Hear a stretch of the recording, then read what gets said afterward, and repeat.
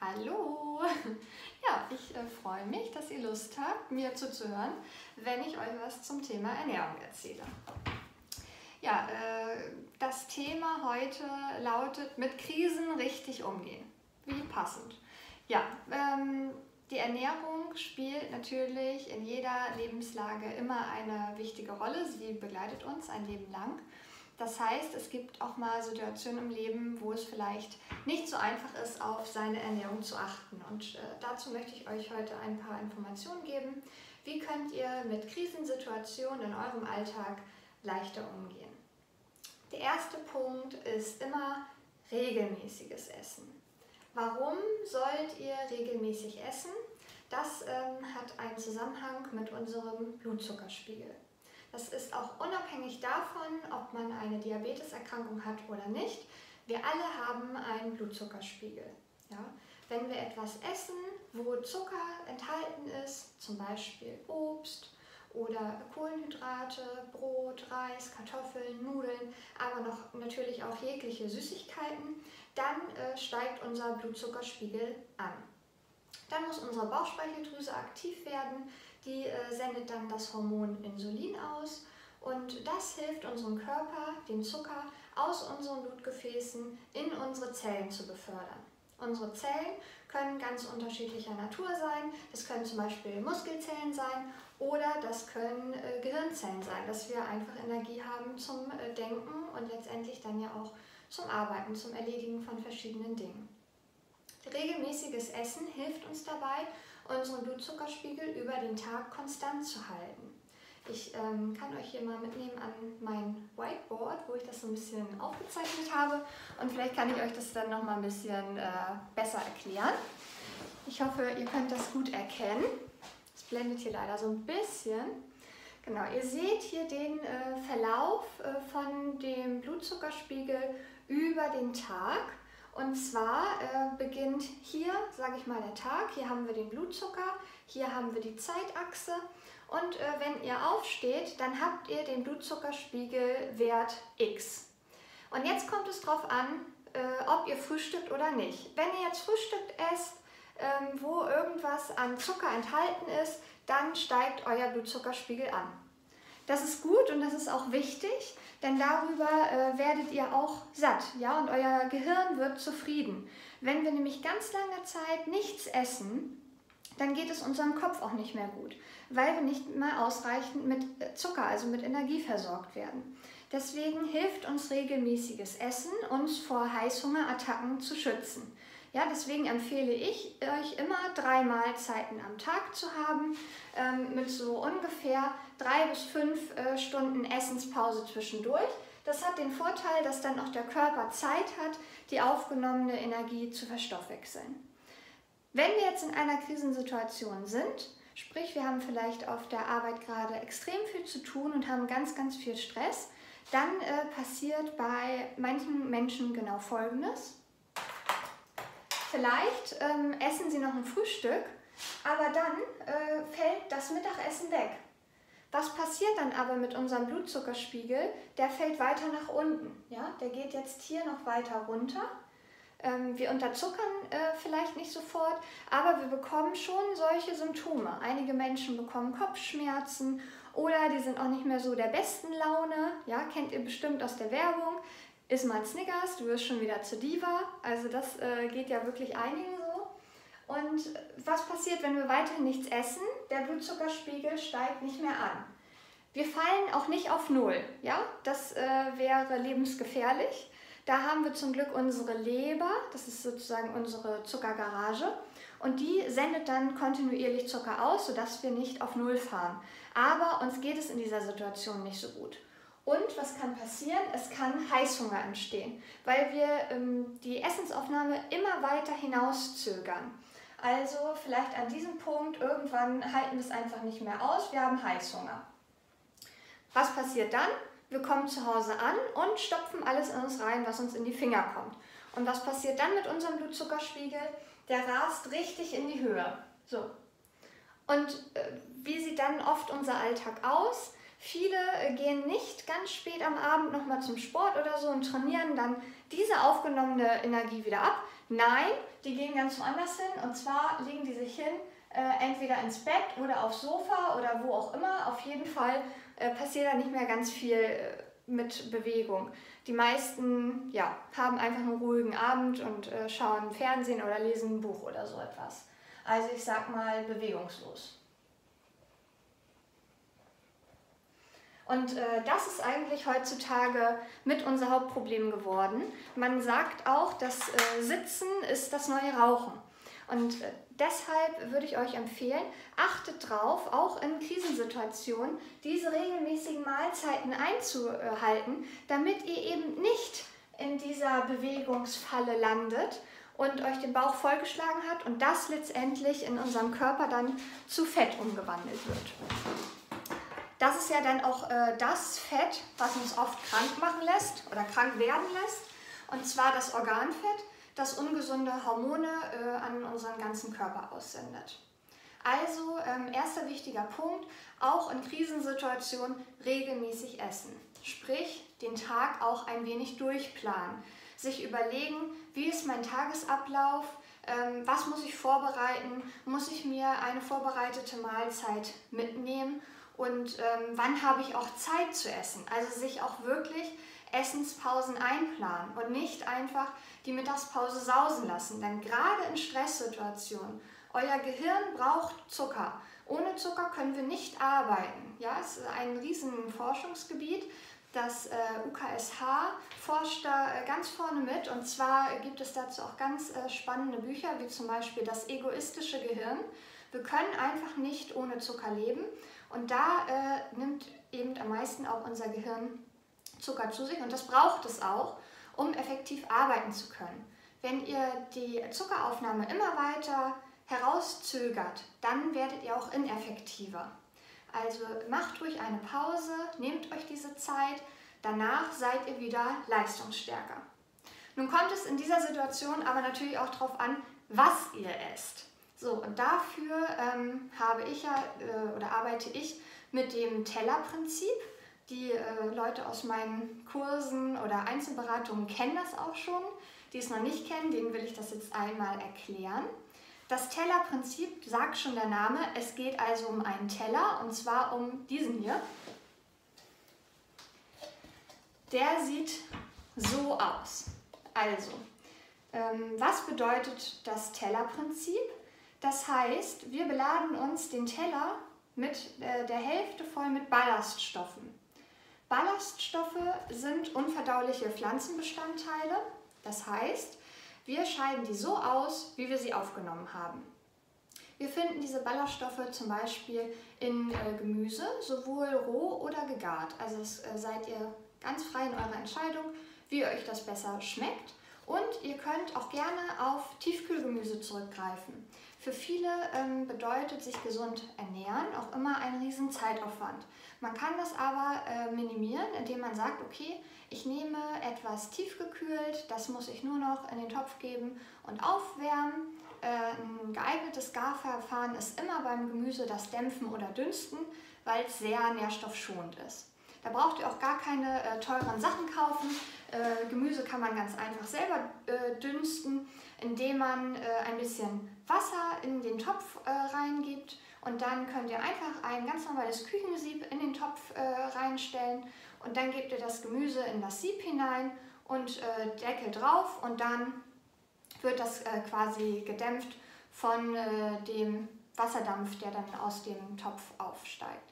Was daran super ist, äh, ist äh, nicht nur die Nährstoffe werden super äh, geschont, sondern das Gemüse behält auch einen viel extremeren und intensiveren Eigengeschmack. Ja, die Ballaststoffe hier sind auch wichtig für unseren Darm. Unser Darm ist ja auch unser Immunsystem. Ja, das hält, der Darm ist ganz äh, wichtig und den müssen wir fit und aktiv halten. Durch Ballaststoffe wird die sogenannte Darmperistaltik, das sind solche schwingenden Bewegungen, intakt gehalten. Diese Bewegungen sorgen dafür, dass unser Darminhalt immer weiter befördert wird. Also ähm, für einen gesunden Stoffwechsel sollte der Darm immer gut in Schwung sein und das macht ihr eben über die Ballaststoffe.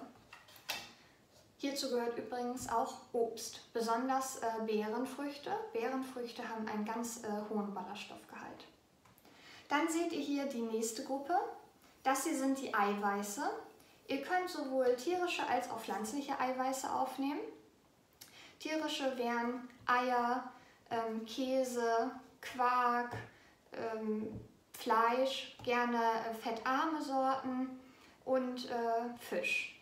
Ja? Pflanzliche wären zum Beispiel Hülsenfrüchte wie Erbsen, Bohnen, Linsen. Da gibt es noch andere Lebensmittel, nur dass ihr eine Idee bekommt, okay, was gehört hier mit rein. Eiweiß ist extrem wichtig, denn wir können Eiweiß nicht speichern, außer in unserer Muskulatur. Wenn wir jetzt also zu wenig Eiweiß aufnehmen, dann nehmen wir Muskelmasse ab. Das ist schlecht. Wir wollen immer Muskelmasse aufrechterhalten, denn Muskelmasse ist ein aktiver Energieverbrenner. Ja, so ist es wichtig, ausreichend Eiweiß zu sich zu nehmen. Diese, dieser Punkt sollte bei jedem Teller nicht fehlen. Dann haben wir hier die Carbs, also Kohlenhydrate. Die äh, sind eben wichtig für unsere Gehirnfunktion, aber auch für unsere Bewegung. Es ist äh, ein aktiver Energielieferant. Der Zucker landet aus der Nahrung in unserem Blut. Einige Zuckerarten nehmen wir sogar schon über die Mundschleimhaut auf. Und dann steigt unser Blutzuckerspiegel an und wir haben sofort Energie, um ja, Leistung zu ähm, äh, bringen. Dann haben wir hier noch das Fett. Fett ist ja nichts äh, Ungesundes, wenn man auf die Fettqualität achtet.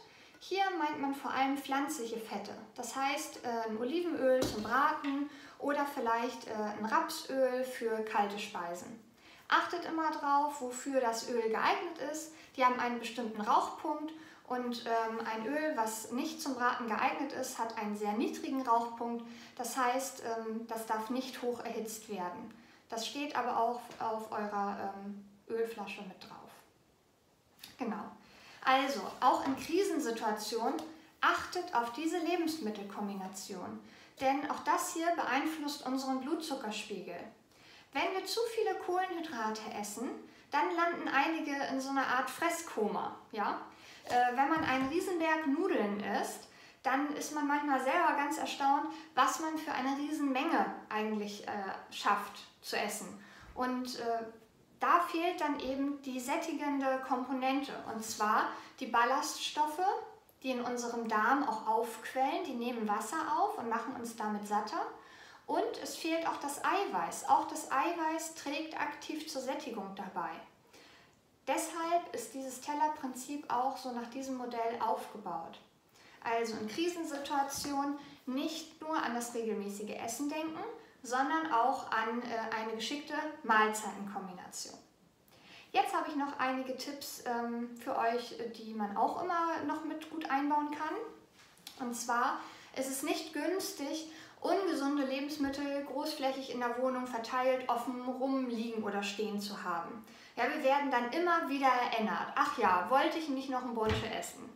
Ja, äh, dann greift man bis zu neunmal mehr eben in die Schale, als wenn man es gar nicht sieht. Nach dem Motto, aus den Augen, aus dem Sinn. Also lasst eure Süßigkeiten nicht offen herumstehen, sondern packt sie in den Schrank.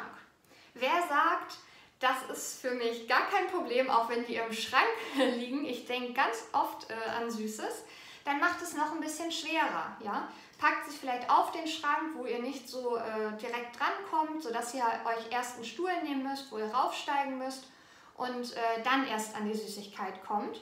Und achtet auch darauf, wie viel Süßes kauft ihr ein? Was braucht ihr wirklich? Also ähm, mir hilft es immer, dass wenn ich einkaufen gehe, ich mir selber die Regel äh, setze, ich kann mir nur eine Süßigkeit kaufen. Und die muss dann für die ganze Woche ausreichen. Wann ich die dann esse, entscheide natürlich ich und wie viel ich davon esse und ob ich es überhaupt esse. Gibt ja auch eben immer verschiedene Phasen im Leben. Mal ähm, nascht man mehr, mal weniger. Aber wenn wir uns eben gerade in einer Krisensituation befinden, dann neigen wir dazu, mehr zu naschen. Denn Zucker macht ja auch glücklich. Unser Gehirn wird stimuliert. Ja? Wir senden Glückshormone äh, aus. Und von daher ähm, hilft es schon mal, weniger einzukaufen und auch auf die Packungsvergröße zu achten. Je größer die Verpackung, desto mehr Inhalt, desto mehr esse ich auch tendenziell davon. Also das äh, hilft auf jeden Fall auch. Dann kann es helfen, in einer akuten Heißhungersituation den Geschmack ein wenig zu verwirren. Also, was meine ich damit? Zum Beispiel mit etwas äh, sehr Saurem. Ja, äh, presst euch vielleicht ein bisschen Zitrone aus und trinkt das, dann habt ihr einen sehr sauren Geschmack im Mund. Oder äh, man kann auch sehr gut mit Bitterstoffen arbeiten. Also äh, macht euch vielleicht einen kleinen Espresso und trinkt den, sodass äh, der Geschmackssinn auch in eine andere Richtung stimuliert wird. Oder ähm, es gibt auch so äh, kleine Bittertropfen, die man nehmen kann, die ähm, auf pflanzlicher Basis sind. Oder ähm, man nimmt ein kleines Stück wirklich ganz dunkle Zartbitterschokolade und lässt das im Mund zergehen. Das haben wir übrigens ja auch ähm, in der letzten Kurseinheit mit der Gruppe gemacht. Und da ist einigen ja auch aufgefallen, auch wenn die vorher vielleicht immer nur Vollmilchschokolade gegessen haben, dass man gar nicht so richtig hinschmeckt. Also wir essen teilweise unser Essen und schmecken es gar nicht richtig. Und äh, sich einfach mal die Zeit dafür nehmen, sich hinzusetzen und auch das zu genießen, was wir zu uns nehmen, hilft oft, dass wir nicht maßlos werden. Dann äh, kann natürlich auch äh, ein Geschmack wie zum Beispiel Pfefferminz helfen. Ihr kennt das, wenn man morgens die Zähne geputzt hat und äh, möchte dann vielleicht zum Frühstück ein Glas Saft trinken, dann schmeckt das Glas Saft überhaupt nicht. Ja, und so soll es auch helfen, ähm, nicht so viele Süßigkeiten nach dem Zähneputzen zu essen oder nach dem Kaugummi kauen oder äh, vielleicht mögt ihr auch frische Minze im Mund haben oder vielleicht auch einen Tee selber aufgießen. Einfach frische Minzblätter nehmen, heißes Wasser drüber, fünf Minuten ziehen lassen, fertig. Ihr habt einen anderen Geschmack im Mund. Das äh, leitet auch schon den nächsten Punkt ein, und zwar den Punkt Trinken. Wir verwechseln ganz oft äh, das Durstgefühl mit Hungergefühl. Wir ähm, haben in unserem Gehirn den sogenannten Hypothalamus, der äh, sitzt ziemlich zentral und der meldet uns das Durstgefühl. Ein Durstgefühl äh, entsteht aber erst, wenn der Körper sozusagen schon in einer Notsituation ist. Das heißt, ihr habt davor schon zu lange nichts getrunken. Ihr solltet also immer regelmäßig Flüssigkeit zu euch nehmen, damit dieses Durstgefühl gar nicht auftaucht. Allgemein ähm, ist eine ausreichende Trinkflüssigkeit immer empfehlenswert, außer ihr habt eine Trinkmengenbegrenzung aufgrund von Herzproblemen. Ähm, die wird euch dann aber auch vom Arzt vorgegeben. Ansonsten hilft uns die Flüssigkeit, äh, den ganzen Stoffwechsel in Schwung zu halten. Äh, sie hilft, den Ballaststoffen im Darm, im Darm aufzuquellen. Sie hilft auch dem Körper, die einzelnen Vitamine und Nährstoffe durch euer ganzes Körpersystem äh, zu leiten. Und es macht auch satt. Ja? Zudem bekommen einige bei äh, einem Trinkflüssigkeitsmangel Kopfschmerzen, sind nicht mehr so konzentriert, ja, einem geht es einfach nicht mehr so gut. Also denkt ans regelmäßige Trinken, auch in Krisenzeiten, ganz extrem wichtig. Dann ähm, ist es auch wichtig, ausreichend zu essen. Ja, macht eure Portion nicht so mini klein. Wenn ihr äh, weniger esst, dann habt ihr tendenziell mehr Hunger und äh, könnt diese Mahlzeitenpausen nicht einhalten. Mahlzeitenpausen sind aber extrem wichtig, denn wenn ich dem Körper immer wieder kleine Zuckerstöße zugebe, dann ähm, kann der Körper nie komplett verstoffwechseln, weil der nimmt sich immer erstmal die Energie, dem ich ihm äh, aktiv zugeführt habe. Also wenn ihr ähm, zum Beispiel ein Vollkornbrötchen mit Käse und äh, Gurke und Tomate esst, dann habe ich ja in diesem Vollkornbrötchen Zucker. Und dieser Zucker landet in meinen, äh, in meinen Blutgefäßen. Und der Körper nimmt jetzt dann in dem Moment nicht die Reserve, die ich vielleicht loswerden möchte, die äh, auf meinen Hüften sitzt, sondern der nimmt erstmal den Zucker, den ich aktiv über dieses Brötchen zugeführt habe. Also in dem Moment seid ihr nicht in einer Verbrennungsphase. Ja, deshalb ist es gut, auch wirklich Mahlzeitenpausen zu haben. Also auch mal nichts zu essen. Dafür muss ich aber zu den anderen Mahlzeiten ausreichend äh, gegessen haben, damit ich auch satt bin, sodass ich diese Pausen auch äh, einhalten kann. Ja, und letztendlich ähm, ist es auch ähnlich wie bei den Süßigkeiten. Beladet euch euren Teller und äh, setzt euch dann in Ruhe an euren äh, Essensplatz und nehmt dann äh, bewusst diese Mahlzeit auf und lasst möglichst nicht alle Töpfe und alles um euch herum stehen, denn das verführt dazu, immer noch mal nachzunehmen.